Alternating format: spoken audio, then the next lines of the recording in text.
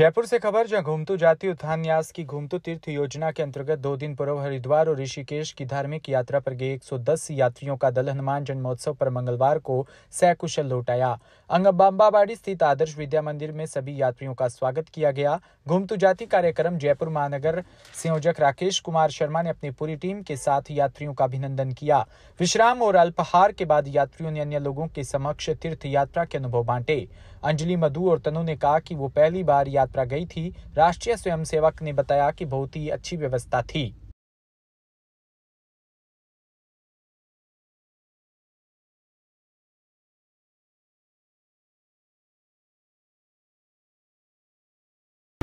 ये जो घुमंतु समाज है, अगर इनका इतिहास अपन देखेंगे तो इनका गौरवशाली इतिहास रहा है। भारत माता के लिए सनातन धर्म के लिए, राष्ट्र के लिए लोग ये तत्पर रहे हैं। इन्होंने अपने जान की परवाह किए बिना इन्होंने राष्ट्र कार्य किया है। परंतु कालांतर में अंग्रेज़ों ने जब इनको अठारह की क्रांति में इनका योगदान देखा तो उन्होंने अठारह सौ इकहत्तर के अंदर इन पे एक एक्ट लागू कर दिया गया, जिसमें इनको अपराधी घोषित कर दिया गया। दुर्भाग्य की बात देखिए, जिस कौम ने स्वतंत्रता संग्राम के अंदर, आंदोलन के अंदर भाग लिया, देश धर्म की रक्षा के लिए काम किया, उनको अपराधी घोषित कर दिया। उन्नीस सौ सैंतालीस में भारत आज़ाद हुआ। आज़ाद होने के बाद में उन्नीस सौ बावन में इन पर जो एक्ट लागू था, उसको सरकार ने निरस्त किया गया।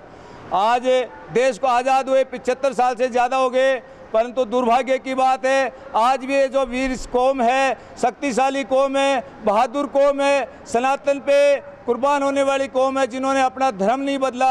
आज भी ये लोग दर दर की ठोकरें खा रहे हैं। गली मोहलों में, नाले के किनारे पे ये अपने बहन बेटियों के साथ में सड़क के किनारे रहने को मजबूर है।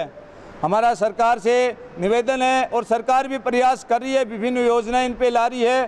परंतु राष्ट्रीय स्वयंसेवक संघ ने एक गतिविधि के रूप में घुमंतु कार्य शुरू किया है, जिसमें हम इन बस्तियों के बच्चों को पढ़ाने के लिए बाल संस्कार के अंदर इन बस्तियों के लोगों के पास इतना सामर्थ्य नहीं होता कि ये मेडिकल स्टोर से जाके दवाई ले ले, अस्पताल में इलाज करवा ले।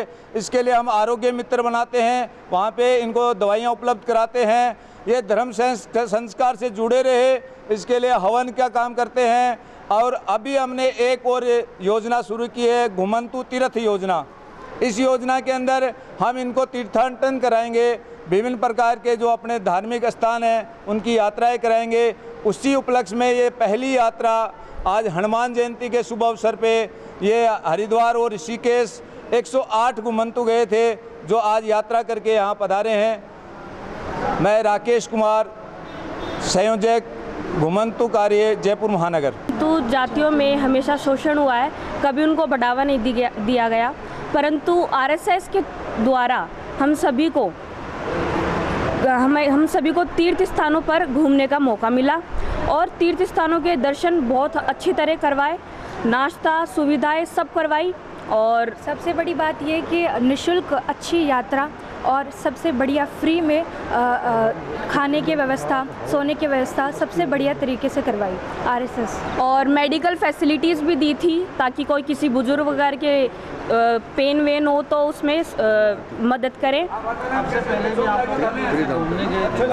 नहीं कभी गए हैं लेकिन कभी तीर्थ स्थानों पर नहीं गए और 108 को लेकर आरएसएस वालों ने बहुत आगे तक सफ़र लंबा तय किया। गंगा की, गंगा जी की मंगल आरती जो बहुत कम लोगों को देखने को मिलती है। इसलिए हम बहुत सौभाग्यशाली है कि आरएसएस द्वारा हमें इतनी अच्छी प्रायोरिटी दी है। सो बहुत बहुत धन्यवाद आरएसएस की तरफ़ से। प्रधानमंत्री नरेंद्र मोदी ने एक बार फिर से कहा कि देश में आरक्षण कभी खत्म नहीं होगा। उन्होंने राजस्थान के उनियारा टोंक के स्वाईमाधोपुर में कहा कि कांग्रेस पार्टी की सोच हमेशा से तुष्टिकरण की राजनीति की रही है। वो दलित आदिवासियों को मिले आरक्षण को कम करके मुसलमानों को देना चाहती है। साल 2004 में कांग्रेस ने सबसे पहले आंध्र प्रदेश में एस सी के आरक्षण में कमी करके मुसलमानों को रिजर्वेशन देने की कोशिश की गई। ये एक पायलट प्रोजेक्ट था, जिसके बाद पूरे देश में लागू करने की प्लानिंग की गई थी।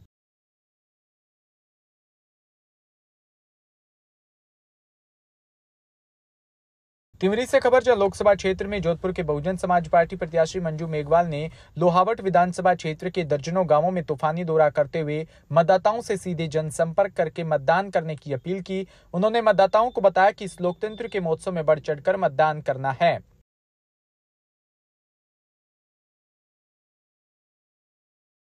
भीलवाड़ा से खबर, जहाँ मुख्यमंत्री भजनलाल शर्मा और उप मुख्यमंत्री दिया कुमारी 24 अप्रैल को अलग अलग भीलवाड़ा आएँगे। इस दौरान मुख्यमंत्री कार्यकर्ताओं की बैठक लेंगे, वहीं उप मुख्यमंत्री दिया कुमारी रोड शो करेगी। सीएम शर्मा दोपहर डेढ़ बजे हेलीकॉप्टर से पुलिस लाइन हेलीपैड पर उतरेंगे। यहाँ से दोपहर एक पैंतीस पर हेलीकॉप्टर से रवाना होकर एक चालीस पर वो भाजपा जिला कार्यालय में कार्यकर्ताओं से बैठक लेंगे। झालावाड़ से खबर, जहाँ पीपा धाम पर संत शिरोमणि पीपाजी महाराज की जयंती महोत्सव में सोमवार को उपस्थित साधु संतों ने पीपाजी महाराज की पीपा धाम में संत जंकारेश्वर त्यागी जी महाराज के सानिध्य में पूजा अर्चना कर भक्तमाला का पाठ प्रारंभ किया। संगीत में भक्तमाला पाठ के श्रवण करने से भक्तों ने खूब आनंद उठाया। पोखरण से खबर जहाँ आशापुरा मंदिर प्रांगण से भाजपा पदाधिकारी व कार्यकर्ताओं ने वाहन रैली का आयोजन किया। इस रैली का आयोजन पूर्व मंत्री गजेंद्र सिंह शेखावत, भाजपा प्रत्याशी लोकसभा क्षेत्र जोधपुर के पक्ष में ज़्यादा से ज़्यादा मतदान करने के लिए किया। आशापुरा मंदिर के मुख्य पुजारी ने रैली को बीजेपी से हरा झंडा दिखाकर रवाना किया। रैली में जय श्री राम, बीजेपी चार सौ पार, गजेंद्र सिंह शेखावत जिंदाबाद के नारे लगे। मुख्य आयोजनकर्ता पंचायत समिति प्रधान भगवंत सिंह नगर अध्यक्ष मनीष पुरोहित व पूर्व एमएलए सोंग सिंह भाटी, नगर पार्षद दिनेश व्यास और भारी संख्या में कार्यकर्ता मौजूद रहे।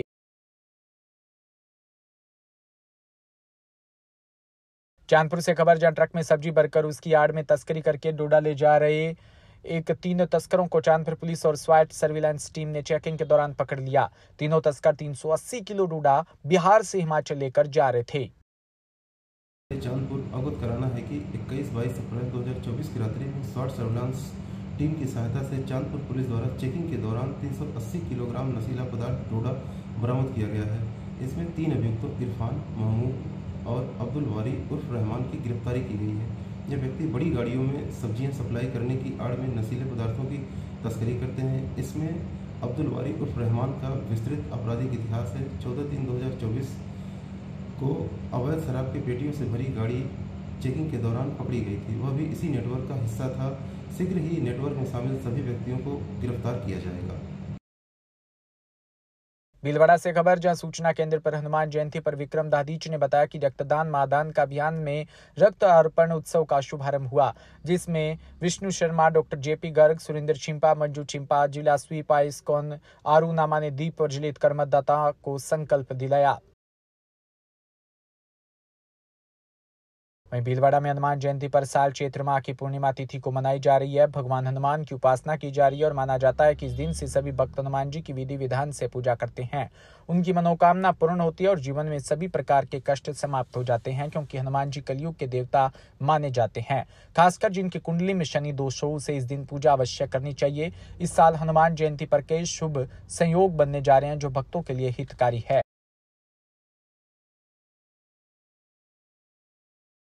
सिरोही से खबर, जहाँ उदयपुर, पालनपुर, फोरलेन स्थित पिंडवाड़ा थाना क्षेत्र के कोजरा निकट में तिजारा विधायक बाबा बालकनाथ की कार रोडवेज़ बस से साइड से टकरा गई। गनीमत रही कि हादसे में कोई हताहत नहीं हुआ, हालाँकि कार का एक तरफ़ का हिस्सा क्षतिग्रस्त हो गया। हादसे के संबंध में किसी और से रिपोर्ट दर्ज नहीं कराई गई। जानकारी अनुसार तिजारा के विधायक बाबा बालकनाथ, उनकी कार पिंडवाड़ा तहसील के स्वरूपगंज थाना क्षेत्र के धनारी स्थित हनुमान जी मंदिर में दर्शनार्थ कर एक विशेष कार्यक्रम में भाग लेने जा रहे थे। रुदावल से खबर, जहाँ हनुमान जयंती पर हर साल चैत्र माह की पूर्णिमा तिथि को मनाई जाती है और भगवान हनुमान की उपासना की जाती है। माना जाता है इस दिन जो भी भक्त हनुमान जी की विधि विधान से पूजा करता है, उसकी मनोकामना पूर्ण होती है। जीवन में सभी प्रकार के कष्ट समाप्त हो जाते हैं, क्योंकि हनुमान जी कलयुग के देवता माने जाते हैं। खासकर जिनकी कुंडली में शनि दोष हो इस दिन पूजा अवश्य करनी चाहिए। किशनगंज से खबर, जहाँ नहर पानी की मांग को लेकर आंदोलन कर रहे नहरी, नहरों की पानी किसान संघर्ष समिति के लोगों ने एक उप तहसील कार्यालय में पहुंचकर लोकसभा चुनाव में बहिष्कार का ज्ञापन सौंपा। नहरी पानी संघर्ष समिति के पवन नगर कुलदीप हरसोलिया ने बताया कि नारगढ़ क्षेत्र की छह ग्राम पंचायतों में भूजल स्तर काफ़ी नीचे चला गया। इस क्षेत्र में कोई बड़ी योजना लागू करने के लिए सिंचाई विभाग के अधिकारियों ने नकारात्मक रिपोर्ट उच्च अधिकारियों को भेजी जिसे किसानों में रोष है। मैं भुवनेश जिंदल, व्यापारी नारगढ़ आज छः गाँवों के लोगों की पानी की समस्या को देखते हुए व्यापार संघ ने सभी किसानों का समर्थन करते हुए आगामी चुनावों में, लोकसभा चुनावों में वोटों के बहिष्कार का निर्णय लिया है। सभी व्यापारी एकजुट हैं। सभी व्यापारियों ने मिलकर के आज माननीय मुख्यमंत्री के नाम, तहसीलदार साहब को ज्ञापन सौंपा है और निर्वाचन अधिकारी के नाम। तो ये तय है कि आने वाले छब्बीस तारीख को जो लोकसभा चुनाव होंगे उसमें नाहरगढ़ के व्यापारी मतदान नहीं करेंगे, क्योंकि जो पानी की समस्या है, बहुत विकराल है और किसान भाइयों के साथ व्यापारी कदम से कदम मिलाकर के चलेंगे। मैं पवन नागर, ग्राम पंचायत नाहरगढ़। आज हमने लोकसभा चुनाव के संदर्भ में सरकार को ज्ञापन दिया है, जिसमें कि हमारी लगातार जो सरकार से मांग चल रही है कि हमारे क्षेत्र को सिंचाई परियोजनाओं से जोड़ा जाए, जिससे कि इस क्षेत्र में पीने की व भूमि को सिंचाई के लिए जल उपलब्ध हो सके। लेकिन सरकार अभी हमारी इस मांग को गंभीरता से नहीं ले रही है। अतः हमारा लोकसभा चुनाव बहिष्कार लगातार जारी है। अगर सरकार या सरकार का कोई भी जनप्रतिनिधि, जल संसाधन मंत्री या मुख्य सचिव जहाँ तक हमें लिखित आश्वासन नहीं देता है, हम वहाँ तक ये हमारी जो लोकसभा चुनाव बहिष्कार की मांग है, वो लगातार जारी रहेगी। नाम कुलदीप नागर, ग्राम नारगढ़। हमारे क्षेत्र में लगातार भूजल नीचे गिरता जा रहा है। पानी की बहुत भयंकर विकट स्थिति सामने आ रही है। इसको देखते हुए सरकार यहाँ पर नहरी, सिंचाई, पीने की, पानी की व्यवस्था में ध्यान थोड़ा कम नज़र आ रहा है। इसलिए आज हमने, सब किसानों ने यहाँ नारगढ़ तहसील पर ज्ञापन दिया और आश्वासन लिया उनसे कि जब तक कोई संसाधन मंत्री, जल संसाधन मंत्री कोई ठोस आश्वासन नहीं देता है, तब तक हम चुनाव का बहिष्कार जारी रखेंगे और निरंतर इसको आगे लेकर जाएँगे और गली गली गाँव गाँव घूमकर झालावाड़ से खबर, जहाँ ज़िले में चौमेला कस्बे में हनुमान जन्मोत्सव पर हिंदू संगठनों द्वारा कस्बे में विशाल शोभा यात्रा निकाली गई। शोभा यात्रा कस्बे में हनुमान मंदिर से शुरू हुई, जो कस्बे के मुख्य झंडा चौक होकर कुंडला रोड बाज़ार से होकर हनुमान मंदिर पहुँची, जहाँ शोभा यात्रा का समापन हुआ। भव्य शोभा यात्रा में भारी संख्या में श्रद्धालुओं ने हिस्सा लिया।